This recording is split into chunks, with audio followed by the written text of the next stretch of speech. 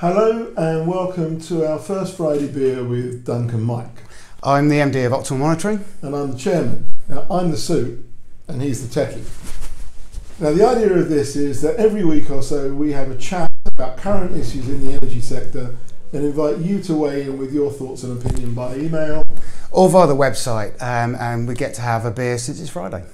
So, what pinged your radar this week, Dan? Well, there's a couple of things, Mike. Um, two articles, one in Energy Live News and the other one in Restaurant Sector's Propel.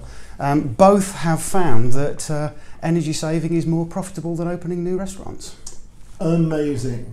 And we've been fighting this battle with inertia for years. And it's strange, isn't it, that such a large part of a business cost goes unaddressed. And you have to wonder why. Is it because generally no one individual is responsible for energy spend. Procurement owns the tariff, but who owns the efficiency bit? It's not consistent, and uh, I think that's the problem. You know, it's just too difficult. No, it's not.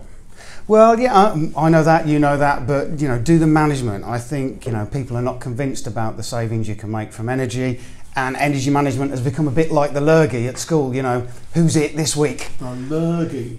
Now let's get back to the news. Efficiency, low cost, quick payback. Time is the problem. Uh, exactly, and unfortunately, we see an awful lot of expensive energy managers within the sector, um, and uh, they're just, you know, focusing on legislation. And that's not going to go away anytime soon, is it?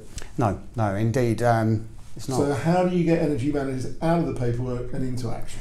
Automation, like Sage, for example, for accountants. Exactly that and then they'll have to do something about reducing energy rather than just looking at it. Precisely. Well, they'll have the time to do it. Or go to the pub. Indeed. And have a beer. Why not? And while you do that, let us know how you convince management to fund your energy efficiency program, your frustrations, your successes, anything that's on your mind. We'd love to hear it. We'll publish it on our page and we'll have a beer.